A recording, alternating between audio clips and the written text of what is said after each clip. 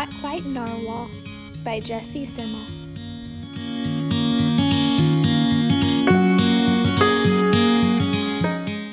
Kelp was born deep in the ocean. He knew early on that he was different from the other narwhals. His tusk wasn't as long as everyone else's. He had different tastes in food. And he wasn't a very good swimmer.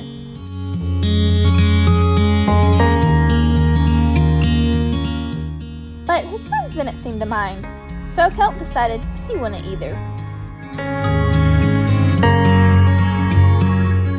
That is, until he was swept away by a strong current. I wish I were a better swimmer.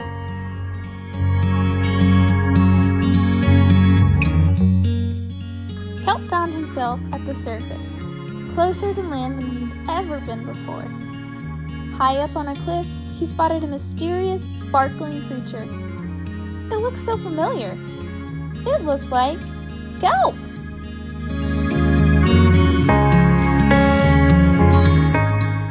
Kelp swam toward land as fast as he could, which wasn't very fast at all, hoping that he could catch up with the creature that looked just like him.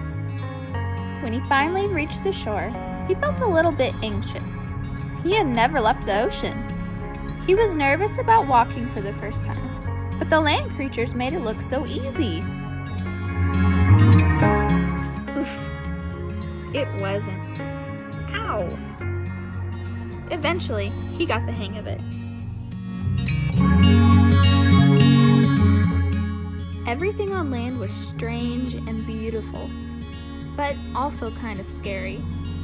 Kelp began to think he might never find the creature that looked just like him. But as he stumbled out of the forest, land narwhals! Actually, we're unicorns. And by the looks of it, so are you.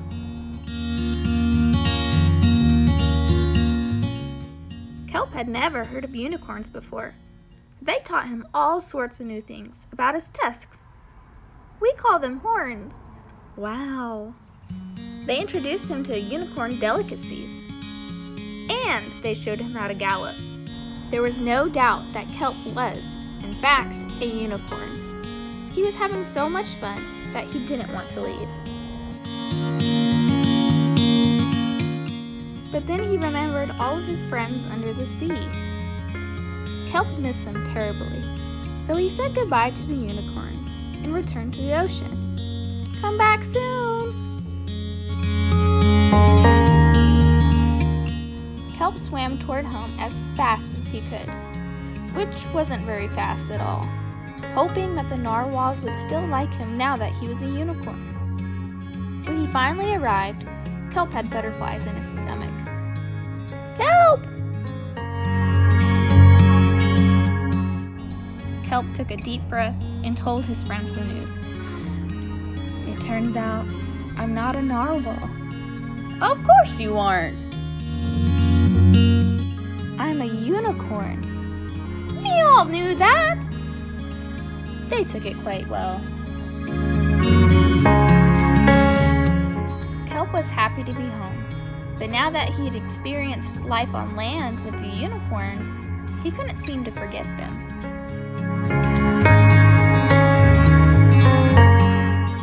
Did he want to be a land narwhal with the unicorns? Or a sea unicorn with the narwhals? Kelp couldn't decide. But then he realized that maybe, just maybe, didn't have to choose.